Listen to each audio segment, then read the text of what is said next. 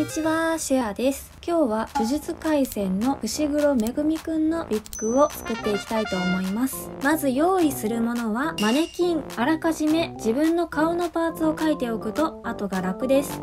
折りたたみ式よりもスポンジ型がおすすめ。次にハサミ。これは切れたら何でも OK で、私は立ちばさみを使ってます。次に紙用のスプレー。これはスーパーハードがおすすめ。メーカーは何でも大丈夫です。それから串。串もこういった立体型がおすすめです。次に紙を挟むもの。何でも大丈夫です。3、4個用意しましょう。あとはアイロン。ストレートよりも巻きの方がおすすめです。そして最後にウィッグ。今回はビッグショップくるくるというメーカーのウィッグを用意してみました。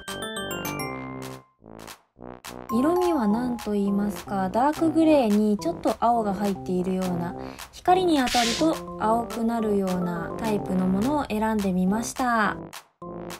マネキンに装着する前に必ずこちらのフックをかけてから装着しましょう。はい。あらかじめ書いておいた自分のおでこラインに合わせてマネキンにウィッグをかぶせたら待ち針のような針で2箇所以上固定します。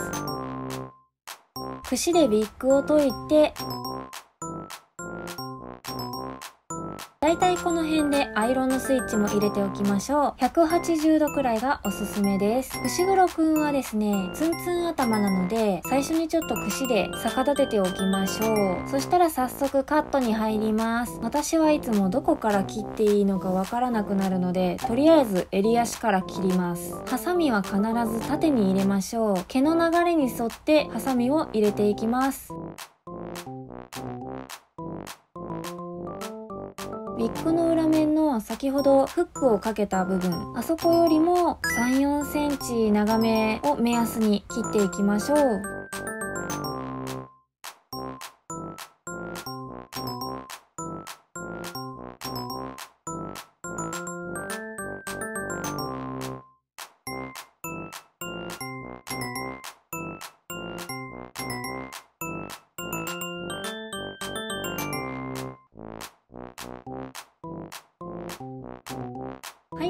切れたら次は後ろ側のサイドを切っていきます。切る前に前側のサイドと後ろ側とで紙をあらかじめ分けておくと事故が少ないと思います。切り方はさっきと同じです。切りにくいところは毛先の方を指で持って上の方をですね引っ張るようにして切ると切りやすいです。切れたら反対側も切っていきましょう。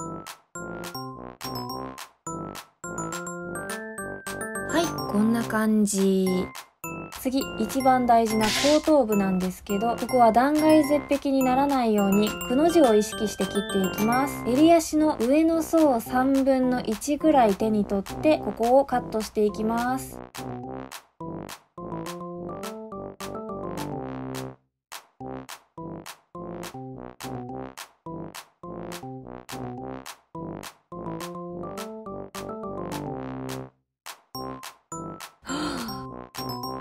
爪を切ってしまいました。皆さんも指を切らないように十分注意してください。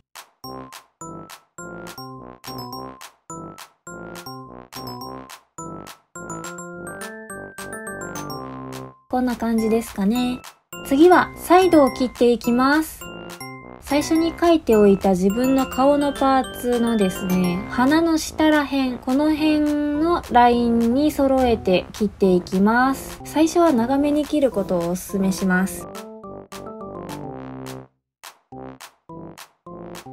はい、大体の長さでカットできたら、一旦串で解いて、アイロンでストレートにしていきます。この時、巻く方向にですね、内側に挟むのではなく、外巻き側に挟んで、下に引っ張るイメージでアイロンを当てていくと、まっすぐになります。このコツを覚えると、ストレートアイロンがなくっても、巻きアイロンだけでなんとかなるようになるので、ストレートアイロン持ってない方には、ぜひチャレンジしてみてもらいたいです。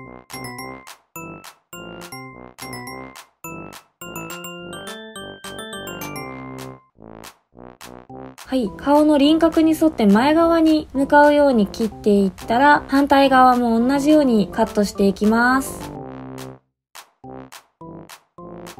原作に忠実にしたい方はこれよりももうちょっと短めに切るんですけど、まあ、やっぱり顔の輪郭とかですね出るのが気になる方はこれよりももう少し長めに切るとうまい具合にお顔も隠れてシャープに見えるかと思いますので自分の顔に合わせて切ってみてください。はい、こんな感じ。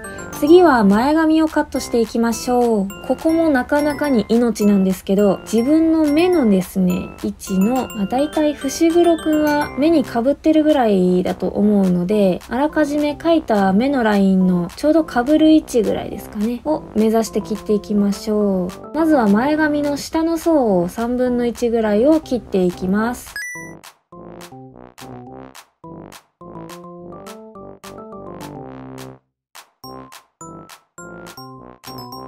カットができたら一旦櫛で解いて上半分、まあ、半分から3分の1を一旦止めます。ちょっと剛毛だったのでアイロンで整えて整えれたらまた同じように縦にカットしていきます。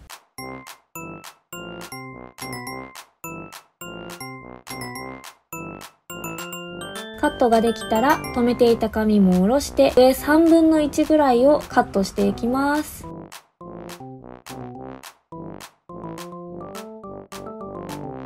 前髪がだいたい切り終わったらサイドも段を入れていきます。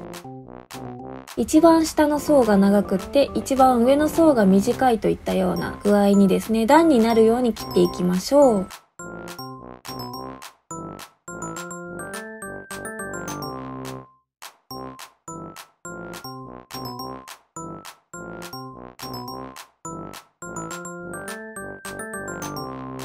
はい、できました。こんな感じです。まあ、細かいところは最後にですね、整えていくとして、次は後頭部いきたいと思います。串黒くんは右から左が髪の流れになっているので、串で解いてから手で大体の癖をつけていきましょう。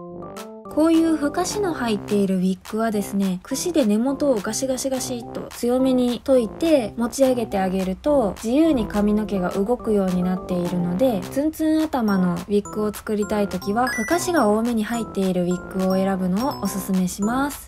ある程度指でちねっていけたら毛先の部分だけにスプレーをかけて固めていきましょう。毛先だけにスプレーを当てることによって根元のふんわり感だったりボリュームを維持したままツンツンヘアを作っていくことができます。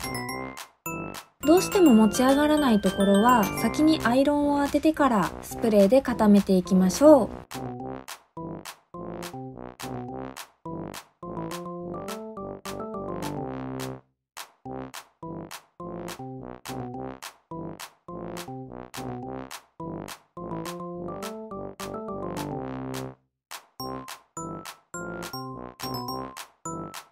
次に最初にもお話しした大事な後頭部ですね。こちら、まあ、イメージとしてはひよこのシリみたいな感じですかね。くの字になるようにもう少しカットして同じように固めていきます。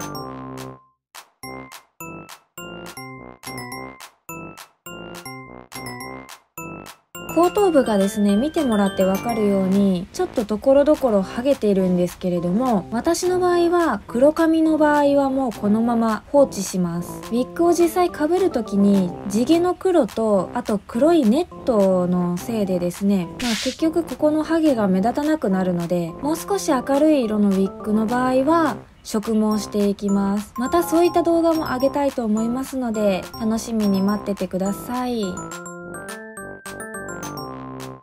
はい大体のセットが終わっていきましたのであとは再度ですね。もみあげ風になるように固めていきます。あとは完全に固まったところにアイロンを当てることによって綺麗に曲げたい方向に曲げることができます。前髪にも気持ちスプレーを振っておきましょう。振りかけすぎに注意です。はい、ということで、伏黒めぐみくんのウィッグ完成しました。